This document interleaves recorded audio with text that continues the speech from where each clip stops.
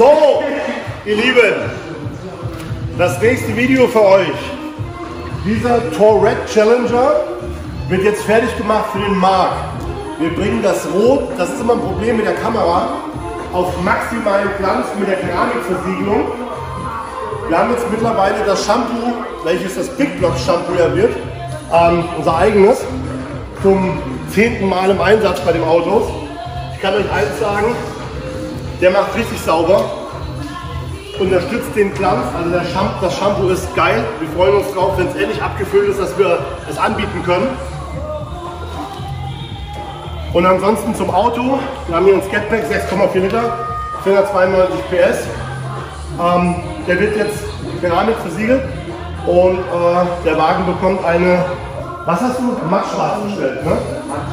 Ja, also mattschwarze Motorhaube und dann kommt das mit dem Glanz noch extremer rüber. Das Problem ist immer bei den Kameras, du kriegst Orange und Rot nicht wirklich unterschieden, unterscheiden. Kann man schlecht unterscheiden, ne? oder gar nicht sehen. Sagt Jana, oder? Sag doch mal was, Mann. Welcome to Big Vlogs! ja, heute haben wir den geilsten roten Challenger überhaupt.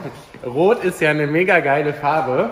Die steht für Liebe, die steht für Sportlichkeit, die steht für den René, die steht ein bisschen für den Boris und natürlich am meisten für den Challenger. Ähm, wir wollen das natürlich auch nicht vorenthalten.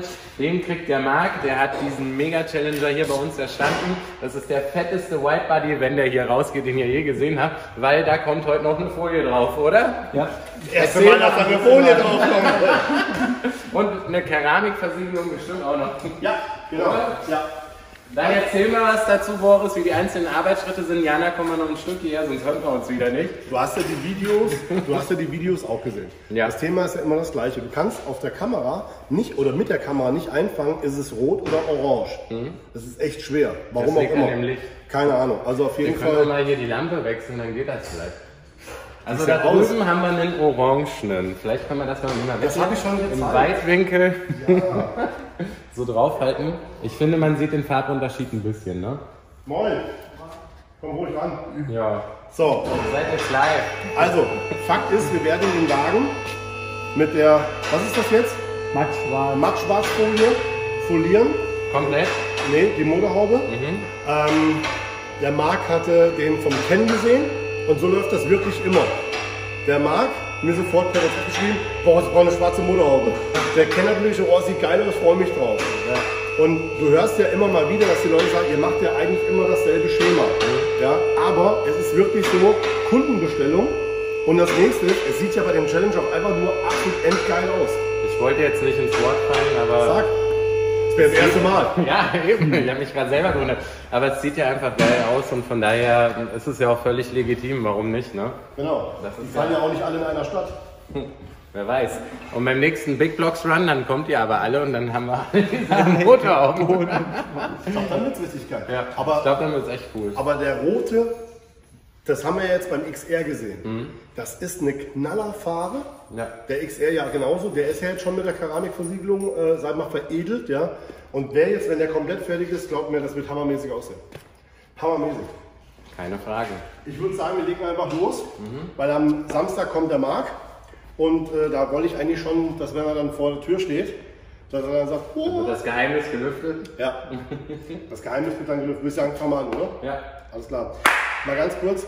Rot steht für die Liebe. Rot steht. Wo holst du das eigentlich immer her? Sag mal. Eine plötzliche Eingebung. Ich war im gedanklich Aber, noch. aber Rot steht auch für uns. Ja, genau. Ja, klar, für Rot weiß- steht für dort. Jetzt mache ich mir ganz. Weiß aber auch, was er meint. Wenn er dich und mich sieht, ja, dann sieht er rot. Das ist schon, was er meint. Bin drin. Wie Super. gezahlt am Bankkonto, ne? Ich habe mir eine Zeit lang immer gewundert, warum das bei den anderen anders ist. Wenn ich Geld geholt habe, wurde der Betrag immer mehr und ich dachte, was läuft doch hier schief? Bis ich gerafft habe, Addiert sich, ne? Ja, genau, das ist echt doof. Tja. Du holst 50 Euro und der Betrag mit höher. Irgendwie ist das scheiße. An alle Mathelehrer da draußen, ihr dürft in den Kommentaren den Boris es YouTube at bigblogs.de. Nach der neunten Klasse. Benjamin, hau mal bitte ganz kurz raus, weil es ist am besten, wenn du das machst. Ich habe eben gerade auch wieder einen Anruf gehabt von einem jungen Mann, der im Dezember zu uns kommen möchte und einen Silverado oder ein F150 von uns besorgt bekommen Ja. möchte. Erklär doch mal ganz kurz dieses Scouting, wie das funktioniert, wie wir das machen und warum das für uns sinnvoll ist. Das wäre ganz cool, da können wir in der Hintergrund ein bisschen arbeiten. Nee, es ist an sich auch eine gute Idee. Ich ähm, hatte mir sowieso schon überlegt, dass wir dazu mal ein komplettes Video machen, weil auch immer total viele Anfragen kommen wegen Finanzierung und dem Scouting-Thema. Grundsätzlich ist es so, wir haben natürlich nicht immer jedes passende Muscle Car von jedem Bauer, Baujahr mit jeder Kilometerlaufleistung zu jedem Preis hier am Hof. Aber Pepper, lass es dir schmecken. Aber grundsätzlich ist es so, dass wir euch natürlich euer Muscle besorgen können. Sei es, ob es jetzt ein Direktimport ist aus den Staaten, das ist natürlich ein bisschen aufwendiger. Ähm, oder halt wir suchen im europäischen Umland äh, nach geeigneten Fahrzeugen für euch. Ähm, von daher einfach, der erste Step ist immer eine E-Mail schreiben an youtube at bigblogs.de oder an info at bigblogs.de. Geht einfach auf unsere Homepage, ihr könnt es auch über Facebook schreiben. Ihr erreicht uns auf jeden Fall, meistens melden wir uns auch. Und dann geht es hauptsächlich darum, dass wir euch im nächsten Step kontaktieren. Wir rufen euch dann an oder wir halten da irgendwie Kontakt, wo wir dann quasi den Umfang des Auftrages abstecken, was ihr genau wollt, Baujahr, Kilometerlaufleistung, preislich und alles. Und dann schauen wir quasi nach, ob wir das Ganze auch besorgen können. Und ähm, so hat das bis jetzt eigentlich immer sehr gut funktioniert. Knistern kannst hier du ganz schön. kannst du alles nochmal wiederholen, weil er Weil das, ich äh, Krach gemacht habe, ja. Was hast du gesagt? Nee, das ist nicht dein Auto. Ich hoffe, das hat man so gehört. Äh, Wenn nicht, schreibt einfach, wenn ihr dazu Fragen habt. Ähm, Wir werden das auch nochmal, wie gesagt, an. an boris.bigblogs.de.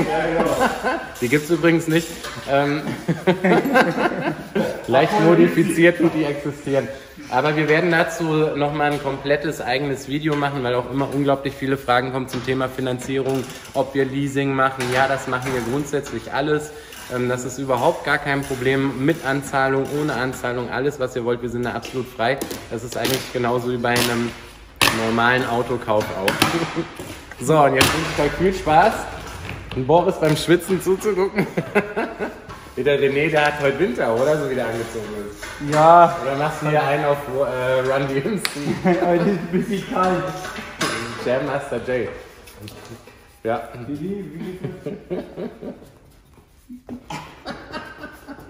Schon schön, wie hier so die Arbeitsrollen vert- äh, verteilt sind. Wir machen das über der Stadt, oder? Guck mal, das ist ganz klassisch. Einer arbeitet, der andere hat die erste Aufsicht, nicht mal die Generalaufsicht. Und Diana muss auch noch filmen.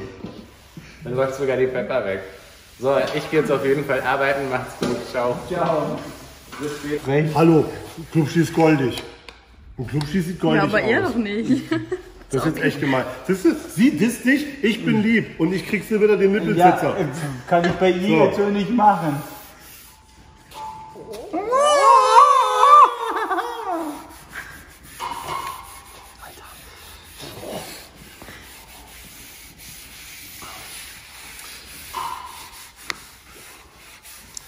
Nimm den Föhn in die Hand, Digga. Soll ich das zwei. eigentlich so cutten oder willst du das komplett aufgenommen? Ach, keine Ahnung. Ich weiß selber nicht genau, was ich will. Ich will nur eins. Ich will, dass es fett aussieht.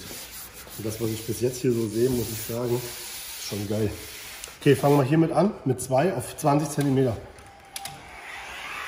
Die hast du schon mal nicht. Nee, flieg rüber. So, Finger weg.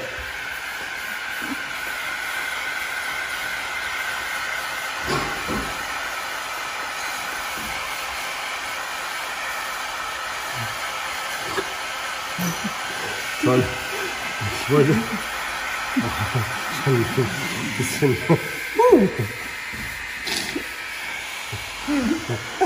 Mach das nicht nochmal. Ich mag das nicht. Los jetzt, auf. Mach mal heiß.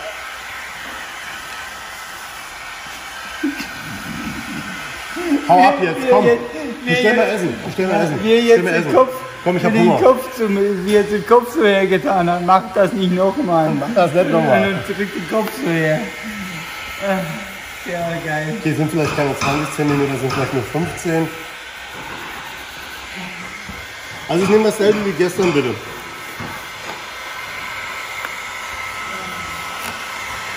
Wir hatten jetzt die Frage gehabt, wie das bei uns aussieht mit den Fahrzeugen, wie das ähm, zustande kommt, dass die Fahrzeuge so relativ schnell verkauft werden.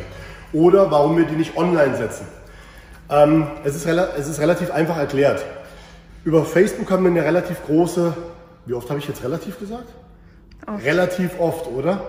Wir haben über Facebook eine richtig große Reichweite. Ähm, Instagram fangen wir gerade an, aktiv zu werden. Und YouTube ist gerade so ein Thema, wo wir äh, die ersten Filmchen hier jetzt gedreht haben, die uns jetzt verfolgen, die wissen das. Und wir werden ziemlich oft besucht. Und die Leute, die zu uns kommen und das hier sehen, ähm, die haben oftmals dann auch mehr Interesse als einfach nur zu gucken. Und spätestens dann, wenn die Leute die Autos anmachen, drin sitzen, dann siehst du bei den Männern immer dieses extreme Grinsen und will ich haben. Ähm, aktuell gibt es auch eine Warteliste zu dem Thema gebrauchte Challenger oder gebrauchte Rams. Deswegen da frühzeitig auf uns zukommen, weil wir schon versuchen, das, was der Kunde haben will, so zu finden, dass es dann nachher auch passt. Und das ist sehr anspruchsvoll, da wir alle, die die US-Fahrzeuge lieben oder auch fahren, ähm, wissen, es gibt halt unwahrscheinlich viel Müll auch am, am Markt und äh, da wird auch ziemlich viel gedreht, gemacht, getan. Uns ist jetzt auch so ein Fehler unterlaufen, aber ja, man kann nun mal nicht immer perfekt sein, deswegen wir korrigieren das jetzt eins zu eins und dann ist das auch wieder äh, kein Problem. Das ist immer ganz wichtig. Auch bei uns kann mal ein Fehler passieren. Ja? Wir sind auch nur Menschen und äh, wenn was schief läuft, ist aber von unserer Seite immer, das wir regulieren mit 100 Prozent, da bleibt keiner auf irgendwas sitzen. Also es ist so das Credo, unsere Leute müssen happy sein. Ne? Zum Thema happy fangen wir jetzt an. Ähm, ich stelle euch kurz den Showroom vor, wie er jetzt aktuell heute aussieht, am 5.6.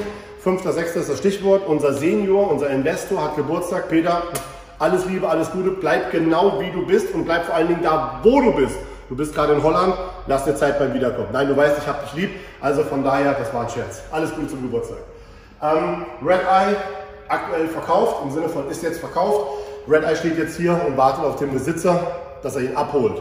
Dann haben wir hier den fertigen keramikversiegelten Hellcat vom Selim. Äh, der kommt auch irgendwann die Tage mit seiner Frau vorbei und macht das Ganze dann final zum Abholen. Der XR ähm, vom Ansgar ist auch eigentlich nur noch hier auf Halte und wartet darauf, äh, im Endeffekt ja, abgeholt zu werden. Ist also auch verkauft. Dann haben wir hier den wunderschönen Fox GTR Nismo, der heute Morgen verkauft wurde. Auch der ist weg. Der Wagen, der Camaro SS, ist auch verkauft. Die Corvette und diese Corvette sind jetzt top aktuell gerade zu bekommen. In den folgenden Szenen seht ihr aber äh, jetzt, warum wir hier Platz gemacht haben, wir machen jetzt den Camaro vom Joshua fit. Der kriegt jetzt eine Keramikversiegelung und der bekommt jetzt eine Motorhaube foliert. Folie suchen wir uns jetzt hinten aus. Okay, also das ist jetzt mal die Einleitung von meiner Seite, was heute so im Video passiert. Ich glaube aber, wir haben vorher schon ein paar Bilder gezeigt, wie wir den Mark fertig gemacht haben, richtig? Hm, okay, gut. Dann sind wir eigentlich irgendwo im Video. Alles klar, legen wir mal los.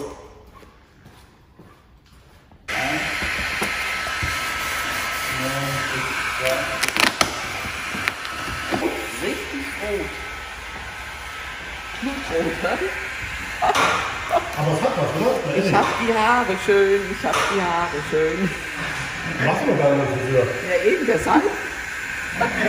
Ach, du willst da dezent darauf hinweisen? Ah, nicht aufgefallen, aber. Wann wollen Sie es holen? Wenn's fertig ist. 10 Minuten. Oh, geil. Dann bin ich auch fertig. Verhungert.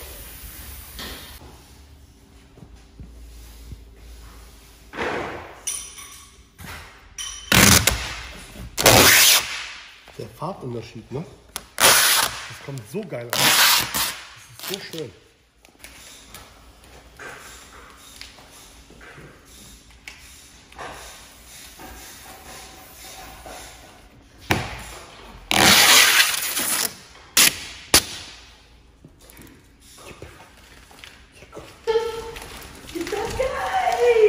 Das ist geil! So, treffe ich oder treffe ich nicht? Immer diese Wetten. Ich Komm, sag, Wetten. heute sage ich, du triffst nicht. Du sagst, ich treffe nicht. Ja.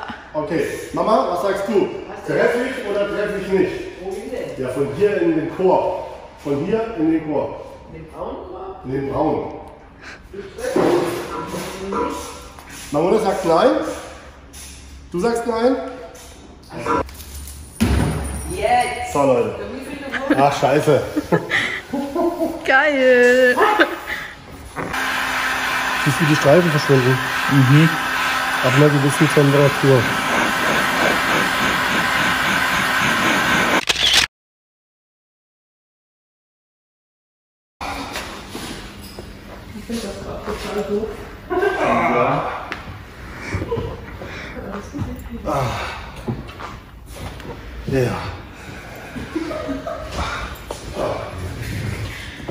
Da fühlt man sich doch wohl. Und kaufen immer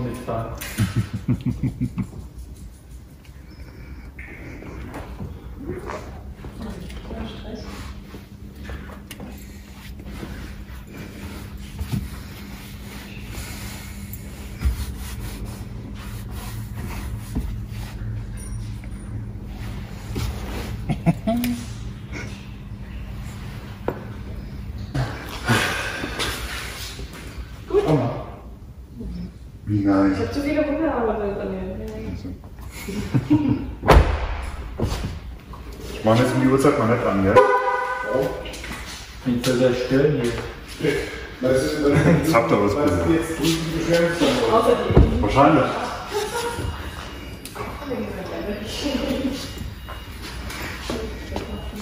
Ich mach den jetzt mal auf die Uhrzeit nicht an, sagt er. Jetzt ja wisst ihr, was wir morgen so einstellen.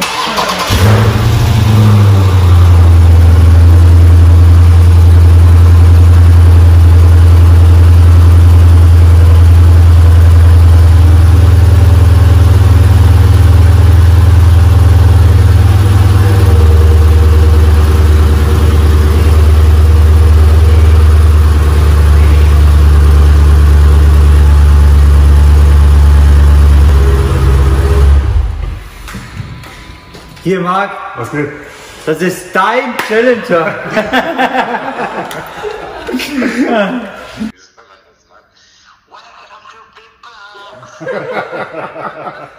Also, Digga, das geht doch. Du musst nur wollen. ja.